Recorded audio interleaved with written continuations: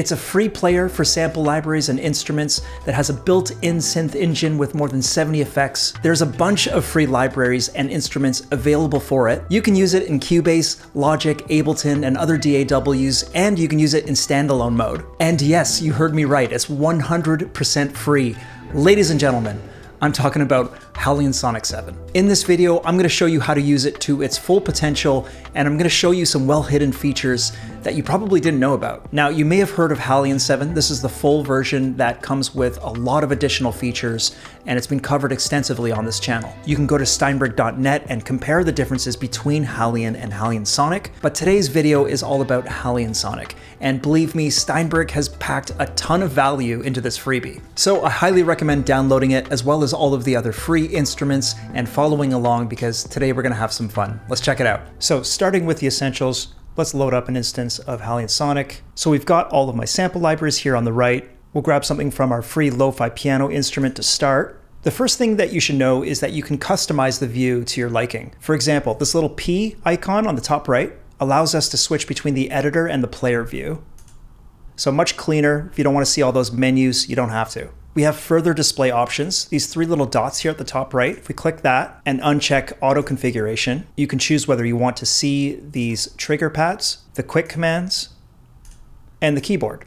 I personally like having all of those visible, so I just generally keep auto configuration on. Now, the lo-fi piano instrument has got to be one of the coolest freebies out there not only because I write a lot of lo-fi hip hop, but each of these presets comes with its own unique set of chord pads. And this is a really cool feature built into HALion. There's a few really cool ways that we could use these chord pads to help us build a track. So this preset's called Lazy Cat, and these chord pads sound like this.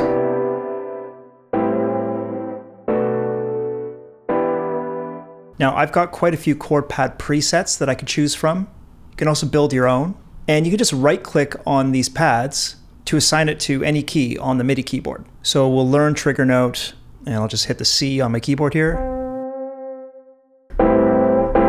There it is. So if I just quickly assign these other pads, then right away I can start throwing down ideas for a chord progression.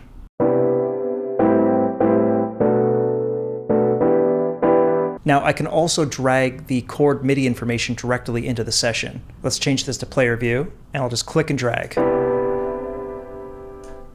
Now, if I don't want those trigger notes anymore, super easy, just right click, forget trigger note. So we'll get a little idea started here. Let's join these together. Maybe the velocity is a bit much. Bring that down.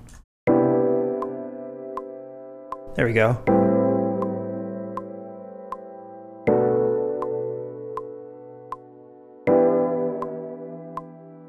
So that feels like a good starting point. Okay, let's bring in another instance of HALion Sonic, and let's go a little deeper with it. So one thing that a lot of people don't realize is that HALion Sonic has a built-in virtual analog synthesizer that you can use to build your own presets. It's a really amazing sound design tool. So let me show you how to access this. What we're gonna do is we're gonna come over here to our program slots. We're gonna right click and choose Init Program. Okay, let's come over here to L1 and let's check out the oscillator page.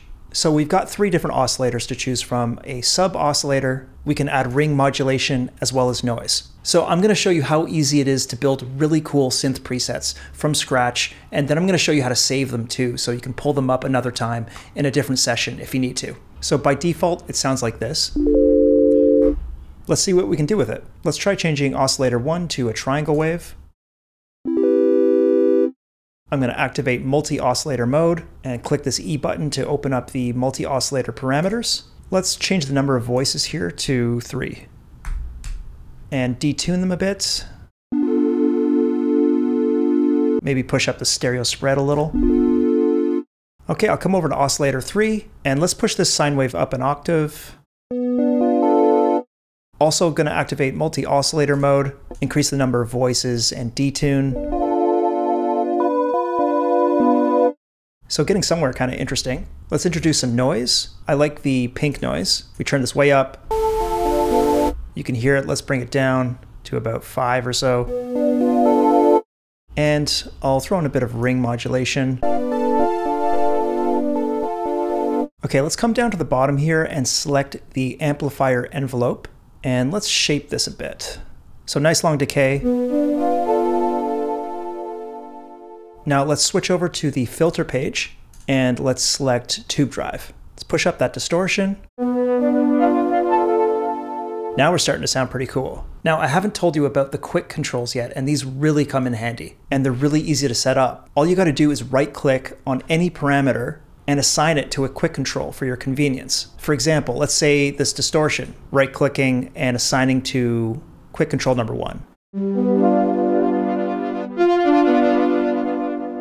And now we've got easy access to it. I don't have to come back to this page to make adjustments. So I might add this cutoff here to quick control number two. And maybe let's try making this preset sound a bit more analog. So we have some low frequency oscillators that we can use here in the bottom. Let's, for example, take LFO4 and we'll assign this oscillator to the pitch. To do that, you just have to jump over to the matrix, select your source, LFO M4, destination, pitch. And if we push the depth value here up, it's gonna sound pretty crazy. Maybe let's do like less than half of that. Just a bit of pitch wobble might be nice. And this synth preset is starting to sound pretty cool. Now, like I mentioned at the start, there's a ton of built-in effects in HALion Sonic, and these are the same effects that you're gonna find in the full version. So let's click on the inserts page, and maybe let's add a bit of reverb. Beautiful. Let's right click on the mix and I'm gonna assign this to quick control three. What else can we add to this patch? Let's try something from the legacy menu. Maybe pan and tremolo? Very cool. Bring the rate down a bit.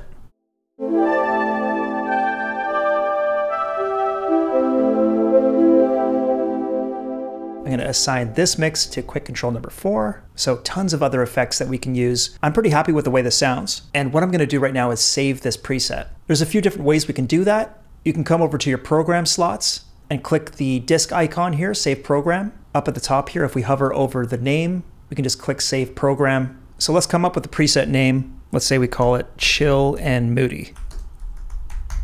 We can select a category for it. Let's put it under synth pad, style, I can select ambient chill out. Under properties, we can select analog. I can choose multiple tags here, ambient, and we can select a rating for it too. Let's give it five stars. Okay, once we hit okay, we're safe to remove this program. So let's get rid of it. And then if we come over to all in your media bay, we can either search it, there it is, or we can filter out the factory content and just look at the user content.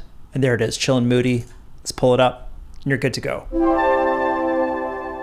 So another amazing feature about HALion Sonic is that you can combine patches and create multis. Let's go ahead and add another layer. So coming over to the program slots here, you can see that once we hover over it, we can load program. Let's go ahead and do that. And maybe we'll choose another freebie instrument. How about the alto glockenspiel? Let's pull that up.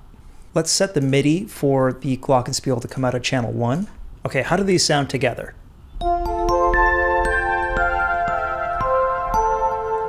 Pretty dreamy. I like it.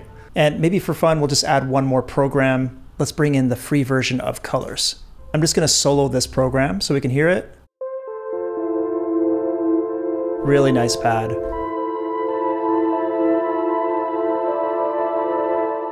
And if we want to make some fine adjustments to the volume of each of these programs, say if you don't like the mix between them, let's come over to the mix and we can adjust the levels right here. I'm going to bring the glockenspiel down a bit. Okay, I really like the way that this multi-patch sounds. Now I want to save it. In order to do that, you want to come up here to the top of these program slots, to this disk icon where it says save multi-program as. Let's hit that. And same thing, give it a name, call this uh, smooth colors. You can add your category, properties, rating, all that. Click OK. And just like last time, you're safe to remove all of these programs. We'll get rid of them. And if you want to load your multis, you just come over here to the top of the program slots. Again, you want to click this file icon and uncheck the factory content, hit all, and then under user, you'll find your multi-patch. And you can also filter your preset types right here. Right now it's set to multis. We can select all presets, we can select our programs, layers, and multis. So switching gears here a little bit, I thought it would be cool to put all of these free instruments to the test. I gave myself about 20 minutes to come up with something. Here's what happened. So starting with our original lo-fi piano progression, I basically doubled this using the novel piano. This is by Sonic Adams. It's got a really beautiful cinematic tone. So doubling these chords, taking that same MIDI and throwing it into taped vibes. I love this instrument. Beautiful whirly tone, playing that solo. How cool is that? I brought in a few drum and percussion loops from the Lo-Fi Dreams pack. Sounds like this. And of course, I'm using our Smooth Colors multi-patch for a little top line melody, doubling that with the Navia harp, another amazing freebie, adding a bit of movement to this progression using guitar harmonics. Super cool tone. I love the way this sounds.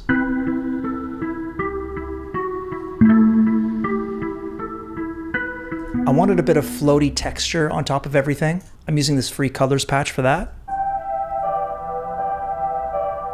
Just really ambient. I created a really simple subby bass patch using the built-in synth for HALion Sonic. And then we've got a few textural layers here from Xstream. And these are sort of transitional samples. And Xstream is a free spectral synthesizer, which is amazing for like dark cinematic scores. But it also works for this chill lo-fi track. Check this out. There's two layers here.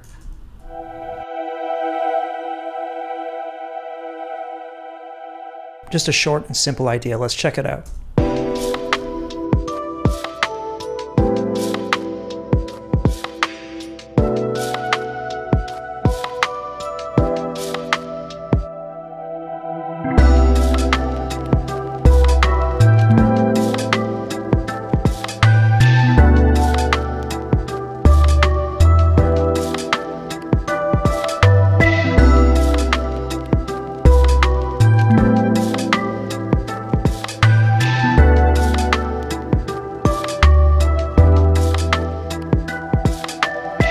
Okay, I'll leave it there. Thanks for joining me today, guys. If you enjoyed this video, hit that like button for me, subscribe to the channel for more content like this. Be sure to head on over to steinberg.net to get a hold of HALion Sonic, the many free instruments that are available for it, as well as countless other amazing products. You can find those links in the description of this video as well. Until next time, my name's Stevie B. This has been a lot of fun. Wishing you guys well, and I will see you soon. Take care.